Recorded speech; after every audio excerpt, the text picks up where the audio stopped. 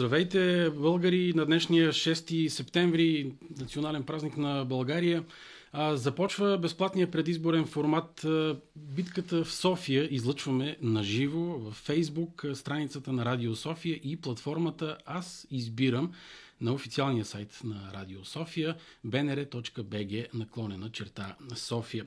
Поредността на гостуванията на кандидатите е определена от жребия на РИК София, 23-ти многомандатен избирателен район и съгласно регламента, вписан в споразумението между Българското национално радио и политическите партии, коалиции и инициативни комитети.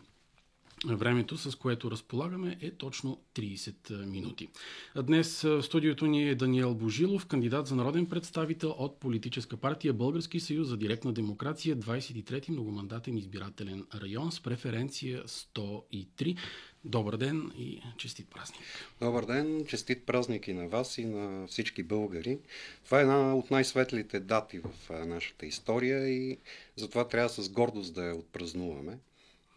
Ще поговорим за гордостта на българина и за това какви са поводите той да се гордее и какви са поводите да не го прави. Но това след малко да поговорим за акцентите в програмата, с която се явява на изборите Българския съюз за директна демокрация.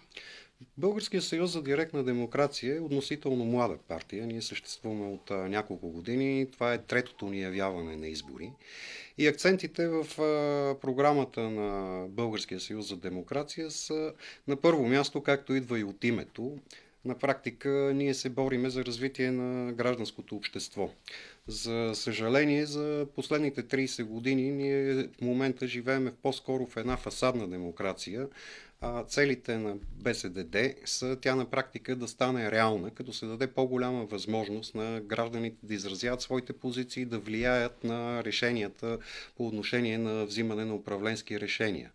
На второ място е съдебната реформа защото една държава, в която съдебната система не работи функционално, на практика няма справедливост, може да се случва какво ли не и всеки прави каквото си иска, но нашата визия за съдебна реформа е доста по-различна от анонсираната към момента на най-вече от демократична България, която е фиксирана и се е фокусирала единствено и само в главния прокурор и наказателния процес а общо взето стремежа ни е съдебната система да бъде реформирана по начин, че тя да се, при упростени правила да заработи значително по-качествено.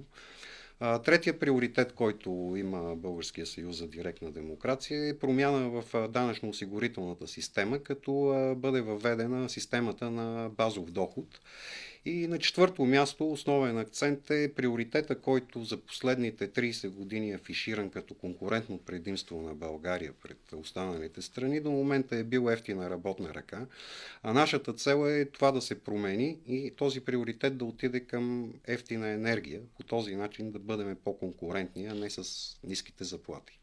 Казахте директна демокрация и повече участие на народа в вземането на важни за страната решения. Как точно ще се случва това? Референдуми, допитвания? Ами референдумите са единия от а, вариантите. За сега общо взето то е регламентиран основно в закона, но той е регламентиран по такъв начин, че да не се случи.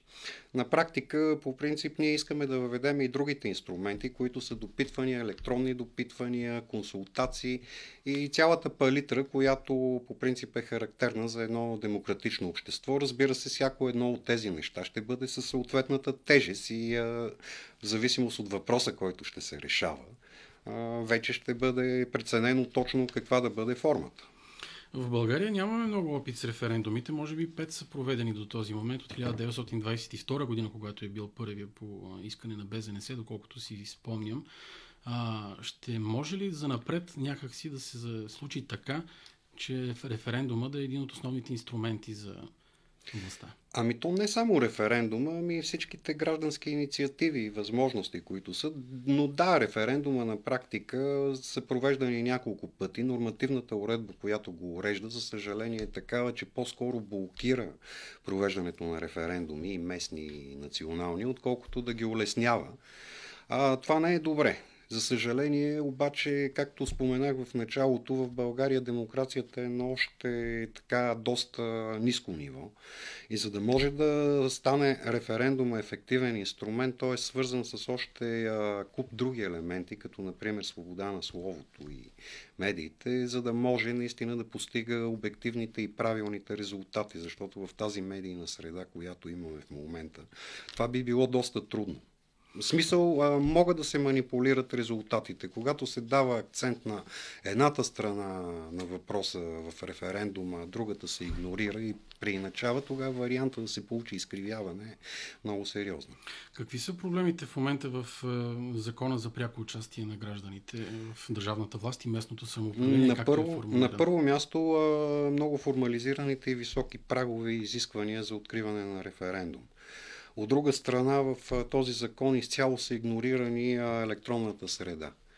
В смисъл, че едно от изискванията е да се открие подписка и а, когато искаш да правиш референдум, тръгваш с чантите, листата и бланките по улиците и събираш, като не съществува никаква възможност тази процедура да влезе на електронна платформа и в някакъв вариант, а то има регламентирани европейски регламенти в тази насока, просто цялата тази процедура да се а, скъси и упрости.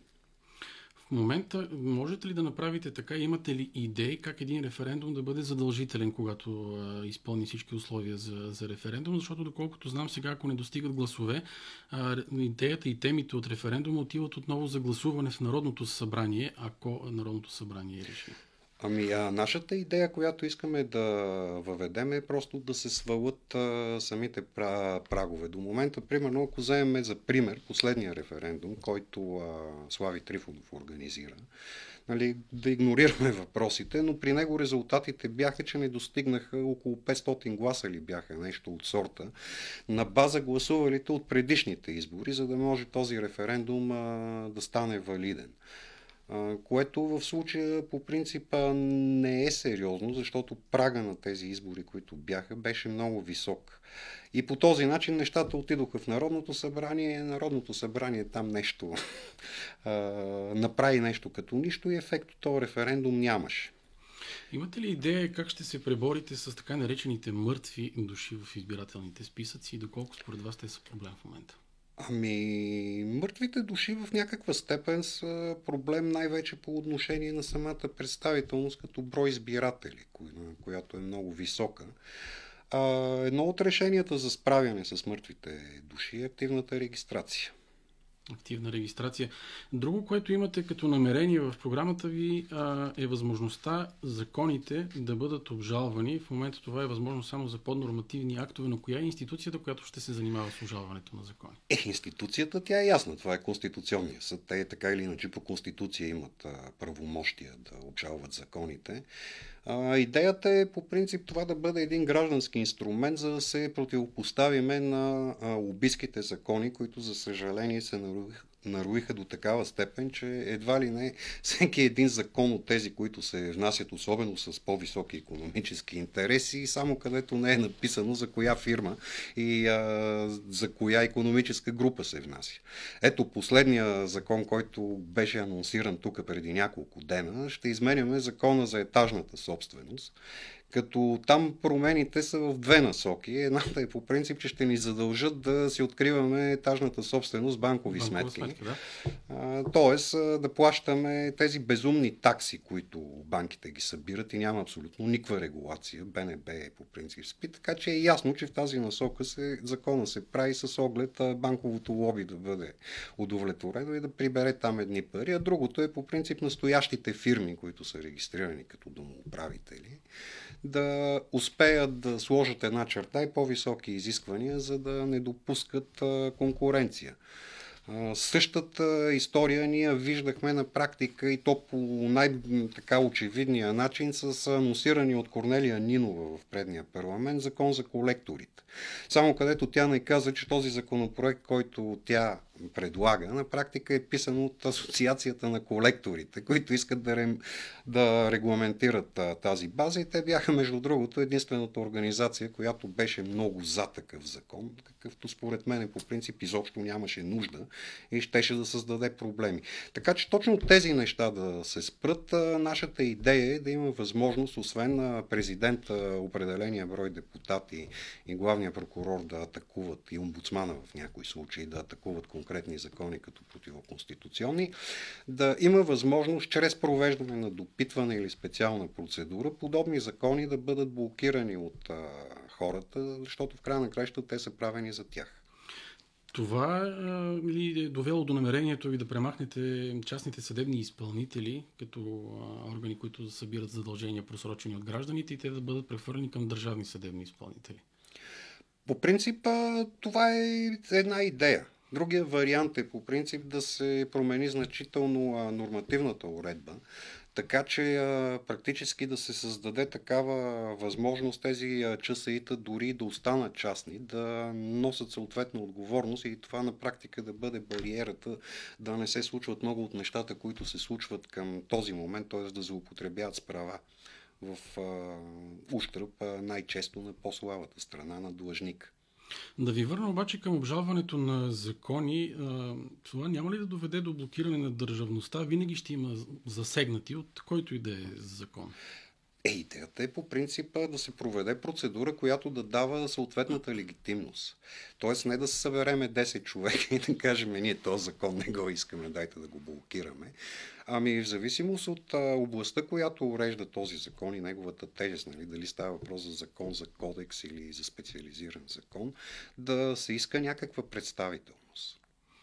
На практика там трудният момент е да се намери баланса точно каква да бъде.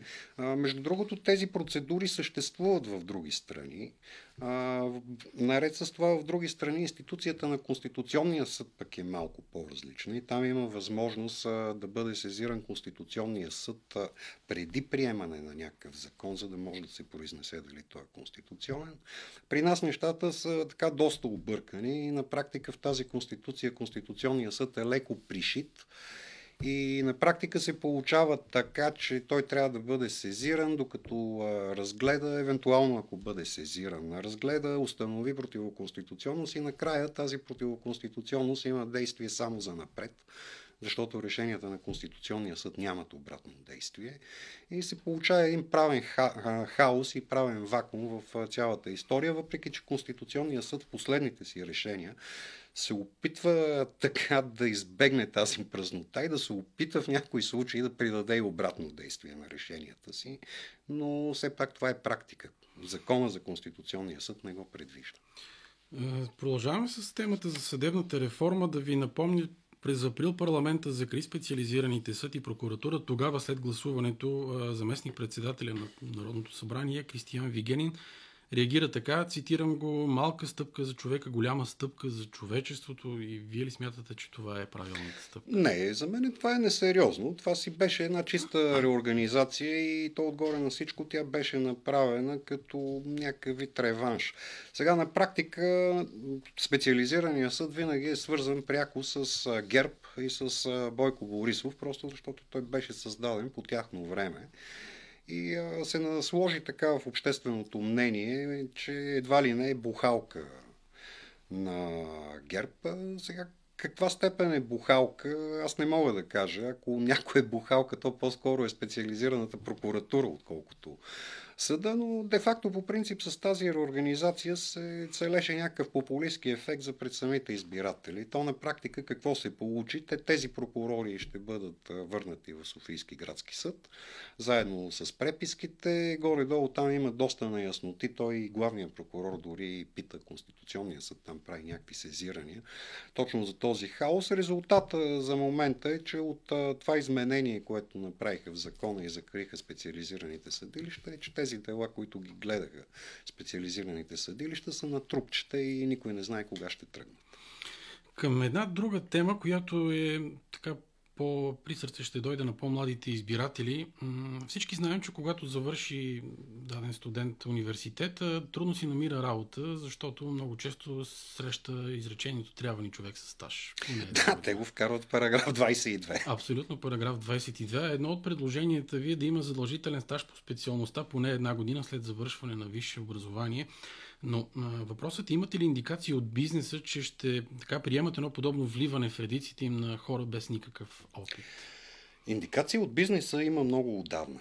Аз даже на времето, преди доста години, започнах и като преподавател в технически университет и сме водили още от тогава разговори с бизнеса. И бизнеса винаги е бил много силно за това, като единственото условие, дори е бил склонен да задели и финансов ресурс по тези програми, но условието е било програмите, които вузовете правят, да са с практическа насоченост, която им върши работа на тях. И тук на практика се получава голямото разминаване между висшите учебни заведения и бизнеса. Бизнеса смята, че самите академични познания, които се а, освояват в университета, не са с достатъчна практическа насоченост и поради тази причина те приемат наемането на човек без а, трудов стаж и без опит, а, общо взето като един вид обучение. А, те на практика търсят човек, който да върши работа. Но това по принцип няма да бъде голям проблем да се реши. Защото с известни промени, известно участие на държавата, особено в това наемане на студенти за стажа, наистина точно този вакуум, който го има между висшето училище и реалния сектор, би могъл да се компенсира. Да, всъщност наистина трябва да има и участие на държавата, защото много добре знаем, че понякога, да не кажа почти винаги стажът е безплатен. А в днешни времена млад човек трудно би си позволил да работи дълго време без заплащане. Дали стажът ще бъде безплатен, по принцип това е относително, но то е достатъчно държавата да поеме самите осигуровки, здравна и социална осигуровка. А бизнеса би могъл пък да задели някакви средства, защото този човек все пак ще върши някаква работа, независимо, че едновременно с това ще се обучава, е нормално той да получава и някакво възнаграждение. Така че по, в България поне по Конституция труда е платен. А, но а, при едно участие на държавата и същевременно желание на бизнеса, това е напълно възможно да се случи. Предвиждате ли ограничаване на бройките на студентите, които завършват специалности, по които няма чак такова голямо търсене и така се получава, че има много завършили студенти, но малко работни места? Този тая координация между бизнес и университети. В края на кращата в тази насока, лично моето мнение е, че не следва да се ограничава желанието на хората да учат каквото счита, че ги вълнува. А, вече това е свързано с информирания избор и е добре всеки, който иска да запише една специалност, сам да си дава сметка, когато започва да учи, каква реализация би имал. Защото другото, по принцип, да слагаш някакви ограничения, линии, считам, че не е достатъчно правилно, защото лишава хората от избори и ни връща в едни други времена, в които пък имаше специалности, които бяха само за наши хора. И това не бива да се повтаря. Какво друго трябва да се направи в българското образование? Виждам, че имате различни идеи, като ревизия на учебния материал и строг контрол на издадените учебници. По мое време, поне когато бях ученик, си спомням, че поне няколко класа завършваха с един и същи учебник, сега те се менят всяка година. Да, точно това е идеята и въпреки, че строг контрол нали, най-често едва ли не се свързва с цензура, не е това идеята. Идеята е наистина да се одобри едно учебно съдържание, да се одобрят учебници, които го покриват и наистина поколения наред да учат по тези учебници и да завършват по тях, за да има в края на краищата някакво равенство в знанията и на практика да знаем какво може да се очаква от тези хора. В момента всяко училище си ползва различни учебници и изобщо хаоса е много голям. Вече две години и половина, като че ли сме в пандемия от COVID-19, една друга тема. Какво според вас и как се справя държавата до този момент с справяне с пандемията и какво бихте променили? Ами държавата от самото начало до момента, по принцип, не мога да кажа, че се справя. На практика това, което е, че нещата си върват на автопилот, но паралелно с това под привидността на COVID мерки се изсипват едни огромни пари в определени сектори. И на практика това е борбата ни с а, тази пандемия. А, това, което евентуално ние бихме могли да направим в тази насока е тези помощи, които са свързани, както и а, с а, епидемията, да бъдат насочвани правилно и а, не така на парче, както дойде и който има по-лобистки групи, ами по принцип да бъдат зададени принципни правила и евентуално те да достигат до бизнеси и до хора, които наистина са пострадали и наистина няма как да се измъкнат. Тоест, а, те са екзистенциален въпрос за тях, а не както е в момента. Как си обяснявате това, че България е на едно от последните места в Европейския съюз по брой на вакцинирани срещу COVID-19? Ами, с недоверието на хората. А как смятате да го промените и смятате ли, че трябва да се промени? Или всеки има право на избор? Сега по промяната ние можем да направим само едно нещо, да изпълним поетите ангажименти и да убедиме хората, че не ги лъжиме. Но а, това е една малка част от тях. Това трябва да стане просто държавна политика. За съжаление, в момента това, което виждаме през целият период на така наречения преход е непрекъснати лъжи и непрекъснат популизъм, като се обещават някакви неща, след което се прави точно обратното. Това на практика ерозира цялото доверие в държавата и държавността. И сега това го виждаме особено ярко изразено в а, а, историята с COVID-19. Просто хората не вярват на експертите и на специалистите това, което им казва, защото те са толкова много пъти лъгани, че вече по принцип не приемат на голо доверие почти нищо. Защо Въпреки, че има и парадокс в това отношение. От една страна, по отношение на COVID, една голяма част от хората не приемат като чиста монета това, което им се казва. От друга страна, пък на изборите видяхме, че на три поредни избори, които минават, на практика се гласува за някакви странни политически субекти, които просто на, една, на едно голо обещание печелят избори. Откъде смятате, че за това недоверие? Начина по който се разпространява информацията или това, че се мени много често данните, все пак сме в COVID-пандемия в началото дори не се знаеше нищо за този вирус? Ами, тази пандемия като цяло е сложна. На практика аз имам усещането, че не само в България, ами и в световен мащаб хората бяха изненадани, държавните органи също. И оттам се получи едно разминаване с информацията, едно прикриване на някои истини, които излизаха доста по-късно във времето. Много неща първоначално бяха зададени по един начин, после се опровергаха. Всичко това по принцип показва, че няма правилно изградена информационна стратегия и концепции. Това в края на краща доведе до а, негативните резултати по отношение на вакцинирането и недоверието в хората.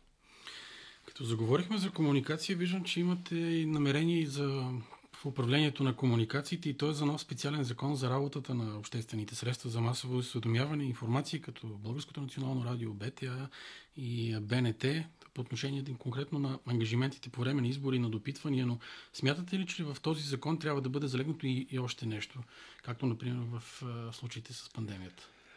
Да, в този закон това са двата основни акцента, които касаят именно а, нашия приоритет за директната демокрация и а, провеждането на референдуми, допитвания, както и честността на изборите. А, но естествено, че ще има още а, и други идеи ще бъдат включени в това, които са точно в насока обективност на медиите. На практика в интерес на истината от това, което ние наблюдаваме е, че БНТ и БНР са най-балансирани в а, политиката си, но не така са и въпроса по принцип с множество частни медии, където очевидно се виждат пристрастия и очевидно се вижда неравнопоставеност между кандидатите и на избори, както и по време на самитния референдум, който беше последния, в начина на поднасяне на информацията. Да, защото оставя впечатлението, че когато се правят закони, те са насочени именно към тези медии. БНР, БНТ, БТА, пак някак частните медии, контролирането им. Защото е най-лесно.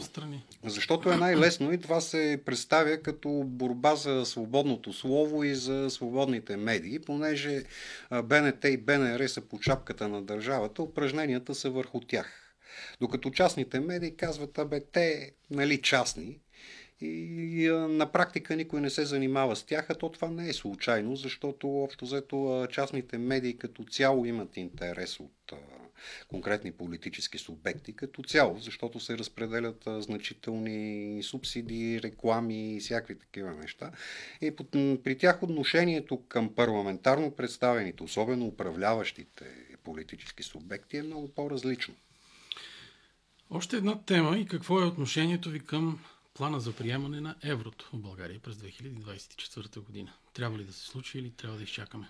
Ами, ние като цяло не сме много склонни а, за приемане на еврото, защото има доста съществени проблеми, които биха възникнали. А, още повече в настоящата економическа обстановка, която се създава в цяла Европа, това е доста рисков ход. На първо място, нашите аргументи против влизане на България в еврозоната и поемането на, приемането на еврото е, че страните от еврозоната на практика са с значително по-голяма задлъжнялост от България. Това абсолютно винаги рефлектира върху самата политика на Европейската Централна банка и практически ако ние влеземе в еврозоната, ще попаднем в тези регулации, в които в един косвен вид ние на практика ще поемем тежестта на чужди дългове. От друга страна е ясно какво стана с страните, в които беше въведено еврото. Инфлацията скачаше в първия период и се гонеше едно изравняване на цените. И третия момент, който е на практика в момента ситуацията в Европа и не само в Европа е много динамична. От една страна ние имаме наслагване на COVID-кризата, която удари финансовите пазари и економиката, от друга страна имаме войната в Украина и политическото позициониране на Европейския съюз, България и Съединените щати. И а, в момента точно а, влизане в еврозоната го прави доста рисково. Още повече, а, онзи ден а, министъра на финансите изкара дългосрочните бюджетни прогнози и се вижда, че на практика при тази политика, която се води в последната година и половина, а, на практика дефицитите, които а, България ще има, те ще бъдат значително по-високи от а, тези, които се допускат а, по критериите за еврозоната. А, това не, че е невъзможно и е абсолютна пречка за приемане в еврозоната, защото Харватия за миналата година по принцип също беше надхвърлила тези дефицити, но за тези неща ще си платиме по-късно. Защото тези критерии не са заложени случайно и факта, че ще направят компромис за тебе, да те приемат, въпреки че не ги изпълняваш, ще ти донесе вреда на последващ етап. Ние това го видяхме много ясно при самото влизане на България в Европейския съюз. Не е тайна, че България не беше подготвена, но покриваше критериите, но тогава по политически причини, пак покрай определени войни, така станахме и кандидат член, след това а, ни приеха, на практика ни приеха, но ние не бяхме готови. На практика в следващия момент ние си платихме за това. Около 3 минути остават, за това ще ви задам един въпрос, който е основен в програмата на Българския съюз за директна демокрация и той е насочен към връщане на българските граждани от чужбина, които живеят. Как възнамерявате да се случи това и как бихте ги накарали да се върнат у нас? Ами единственият начин това да се случи е те да видят една благоприятна среда за собственото си развитие и за собствения си живот в България. А, това са комплекс от мерки, които ние сме заложили в предизборната кампания, а, в програмата ни. Тя не е предизборна, тя е програма. И ако се изпълнат, считаме, че именно това ще успеем да промениме. И по този начин биха се върнали доста хора тук. Интересно е как дори да се, вижда, да се вижда благоприятна среда при положение, че възнагражденията, които са на Запад или отвъд, отвъд океана още повече и тези, които са в България, не са съпоставими. И... Те нещата не са само в възнагражденията. В по-голямата част. Все пак една от идеите на БСДД е да се въведе безусловен базов доход, който ще вдигне в някаква степен покупателната способност на хората, които живеят тук. От друга страна, една по-приветлива среда, която може да се създаде и един по-добър бизнес климат, би върнал доста хора, защото по принцип възнагражденията в особено извън, а, отвъд океана, са доста високи. Но, примерно, един колега, млад юрист, аз вече не съм млад, но на практика, за да вземе това възнаграждение, на него му се налага да изработва по 80, 90, 100 часа на месец на седмица, извинете, което е адски много и на практика той се лишава от личен живот и от още куп други неща, докато ако ние създадем една приветлива среда, вярно няма да се изкарва толкова колкото там за 100 часа, но с 40 часа ще ти позволи да водиш един доста сносен и приятен живот. Много ви благодаря за това участие. Така приключи днешния безплатен предизборен дебат Битката в София. В продължение на 30 минути излъчвахме на живо във Facebook страницата на Радио София и платформата Аз избирам на официалния сайт на Радио София bnr.bg наклонена черта София. Днес в студиото ни беше Даниел Божилов, кандидат за народен представител от политическа партия Български съюз за директна демокрация, 23-ти многомандатен избирателен район с преференция 103. Приятен празничен ден!